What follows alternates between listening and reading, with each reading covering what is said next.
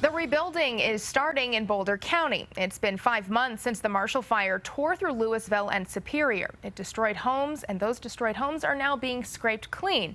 And today, construction crews broke ground on the first home to be rebuilt. That home is in Louisville on the northeast side of the burned scar. We were there today as the backhoes got to work moving dirt around once again. With stakes in place to mark out boundaries, construction crews will continue to work on giving people their homes back.